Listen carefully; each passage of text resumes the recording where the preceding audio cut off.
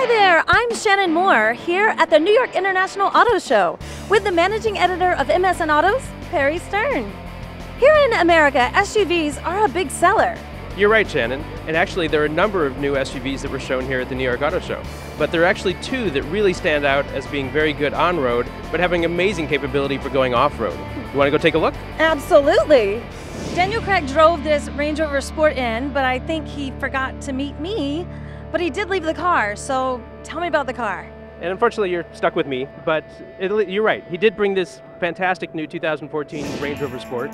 It's completely new, redesigned, has a great new look, it looks sporty, and believe it or not, this thing can actually go through three feet of water. It's got a suspension that can raise up and down so that you can handle the really tough stuff if you happen to run into it when you're taking your kids to school.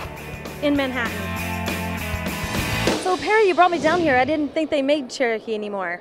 They do make the Cherokee. Actually, the Cherokee's been gone for 13 years, but they just brought it back in an all-new model. It's very swoopy, very futuristic. I mean, the old Cherokee was very boxy. It was very utilitarian. Another cool feature is that the cars depicted in the Park Assist display screen are actually shown as 1940s vintage Jeeps. What?